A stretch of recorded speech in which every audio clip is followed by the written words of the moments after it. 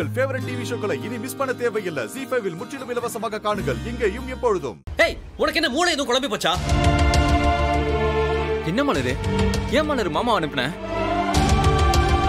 ஏய் அதான் அப்பா அவ்வளவு தெளிவா சொல்றாருல அவரையே போக சொன்ன?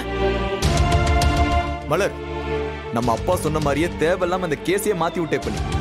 இந்த பில்டர் கொலை கேஸுக்கும் அவனை நாங்க அடிச்சதுக்கும் எந்த சம்மந்தமும் கிடையாது. என்ன மோட்டிவ்னு நீயே சொல்லிட்ட. அந்த பில்டரை காரோட எரிச்சதா சொல்றாங்க.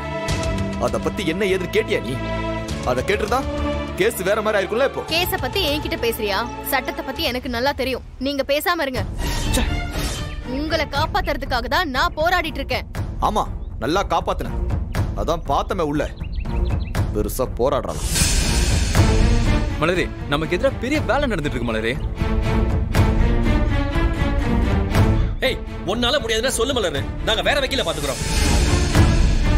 நானும் பெரிய பெரிய லாயர் கிட்ட எல்லாம் பேசி பார்த்துட்டேன். இந்த கேஸ் நிக்காதுன்னு ஒருத்தரும் வரமாட்டேன்னு சொல்லிட்டாங்க. என்ன பார்த்தா உங்களுக்கு எல்லாம் எப்படி தெரியுது? இதை விட சிக்கலான கேஸ் எல்லாம் எவ்வளவு ஈஸியா உடைச்சிருக்கேன்னு உங்களுக்கு தெரியாதா?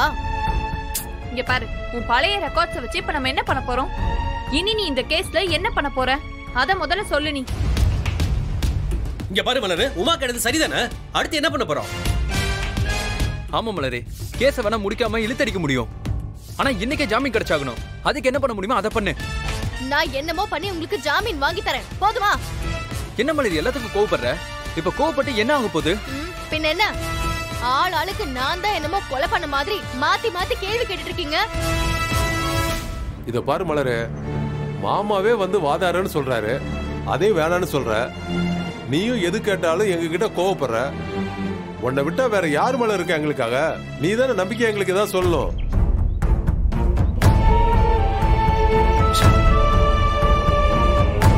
ஒருவேளை இன்னைக்கு ஜாமீன் கிடைக்கலனா என்ன ஆகும்? மறுபடியும் அப்ளை பண்ண தேர்ட்டி டேஸ் ஆகும். அட போடி. அப்போ அது வரைக்கும்? உள்ளதான் இருக்கணும். என்னது? உள்ளையா?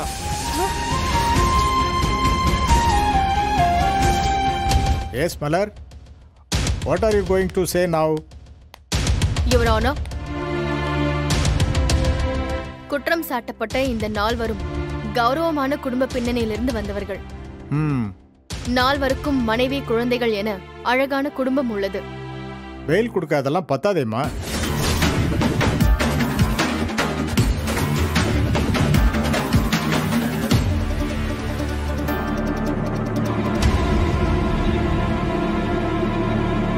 இவங்க நாலு பேருமே சொசைட்டியில பெரிய பொறுப்புல இருக்கவங்க.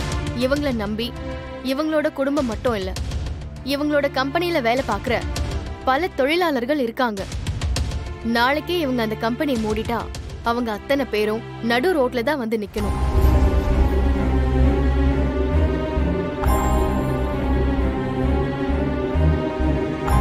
அது மட்டும் இல்லையோ யோரானா இவங்களோட பாஸ்ட் ரெக்கார்ட் எடுத்து பாருங்க. யார் மேலேயோ எந்த புகாரோ வழக்கோ எதுவுமே இருக்காது. சொசைட்டில இவங்களுக்குன்னு ஒரு பேர் இருக்கு. அது மட்டும் இல்லாம சோஷியல் வெல்ஃபேர் ட்ரஸ்ட் என்ஜிஓஸ்னு நிறைய உதவிகள் பண்ணிட்டு இருக்காங்க. இப்படிப்பட்டவங்க எப்படி ஒரு ஆனர் ஒருத்தரை கொலை பண்ணிருக்க முடியும்?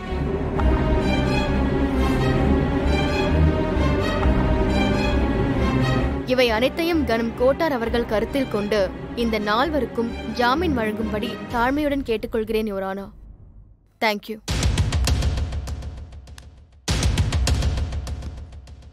யுவர் ஆனர் மதிய வரைக்கும் டைம் வாங்கிட்டு நல்ல வேல்யூபிளா நாலு பாயிண்ட் எடுத்துட்டு வருவாங்கன்னு பார்த்தா வக்கீல் மலர் குற்றவாளிகள் குடும்பத்தோட அருமை பெருமைகளை சொல்லி ஜாமீன் கேட்கிறாங்க. நானும் அந்த பாயிண்ட்டுக்கே வரேன் யுவர் ஆனர் இவங்க குடும்பத்துக்கு கொலை செய்யறது ஒன்றும் புதுசு இல்லை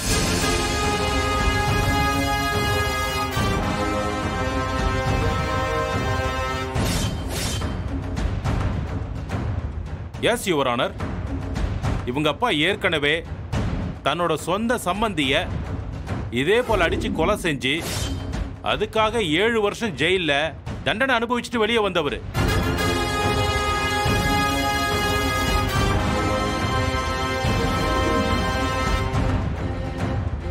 எல்லாம் உங்களால தான்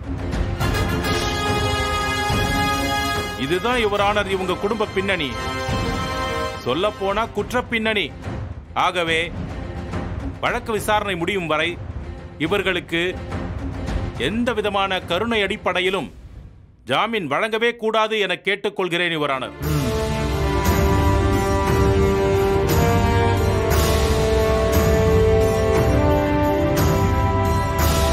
இன்னும் ஏதாவது சொல்லணுமா Malar?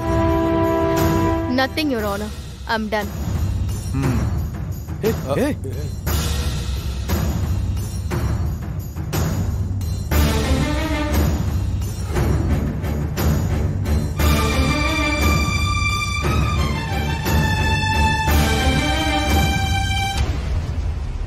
excuse me my lord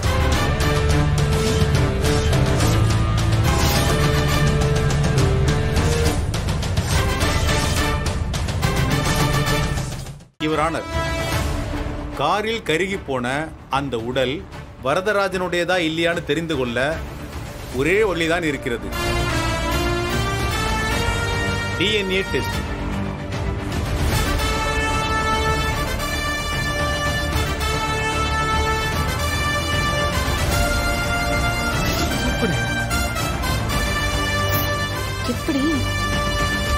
அந்த பாடியை டிஎன்ஏ டெஸ்ட் எடுத்து கன்ஃபார்ம் பண்ணீங்களா?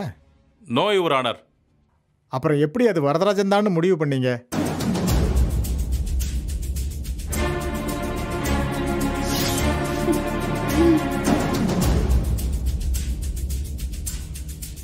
யுவர் ஆனர் ஒரு உடல்ல கிடைச்ச பொருட்களை மட்டும் வச்சு இறந்து போனது இன்னார் நிச்சயமா நீங்க ஏத்துக்க மாட்டீங்கன்னு எனக்கு தெரியும் யுவர் ஆனர் வீடியோவில் இருக்கிற மாதிரி இவங்க நாலு பேரும் வரதராஜனை அடித்ததை அதை வேறு தனி வழக்காக போட்டு விசாரிக்கப்படலாம்.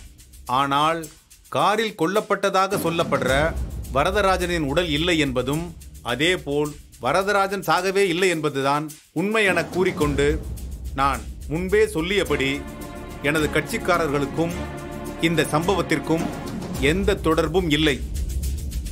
அவர்கள் ஒரு அப்பாவி என்பதை கருத்தில் கொண்டு அவர்களை ஜாமீனில் விடும்படி தாழ்மையுடன் கேட்டுக்கொள்கிறேன் your honour.